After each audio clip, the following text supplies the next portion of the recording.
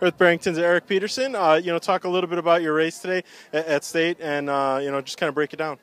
Um, well, you know, we kind of went out pretty fast there. We were 440ish at the mile, and I was up there. I think you know, pretty much towards you know maybe one and three quarters in, and then there was a pretty big move made, and I think I just kind of got lost at that point and started kind of feeling it, at you know, falling back a little bit, and uh, ended up finishing eighth, and you know, not a bad day. Just you know, wasn't feeling my best. Definitely wasn't the best race I've had ever. Um, and do you know what your time was? I was uh, 14:35. And what was your, your PR coming in? 25 here. Uh, but you know, is it is it uh, is it tough sometimes at State to, to kind of run your best? It is. It is. I mean, you're you know you're a little bit nervous. You know, the night before you're not going to be sleeping as well. You know, you've kind of you don't know what's going to happen, and you're just a little jittery, and it's hard to really focus and you know make sure you're there when it when everything's happening.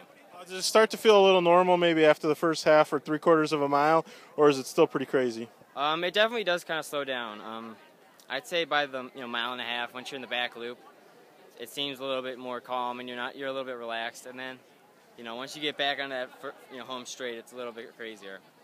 Uh, and uh, as a team, do you, do you are you guys pretty happy with where you finished? Yeah, I mean we had Burgoon who was 23rd, I think, and you know we had a pretty good day other than, you know with everyone else. So yeah, pretty good day. Uh, so what do you do now? Any time off, or you start preparing? I'm running at Nike next week, and I think I'm done.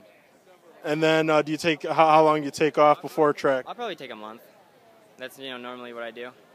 And then uh, track, are you a, a, 32 guy or? Yeah, I'll probably run 32 this year. I, I was on the 4x8 last year. They got second, so I think I'll probably end up running 32 this year. We'll talk about Nike and how exciting that is. That's obviously a little different, a little more uh, individual. Yeah, I've never run it, so you know, I've just I'm just I don't know, I just decided to do it. A lot of colleges have been asking me if I'm doing it, and I guess it would, you know, kind of be a cool experience to run it, you know, that next level, or you know, see the regional, you know, competition compared to just Illinois. All right, thank you very much.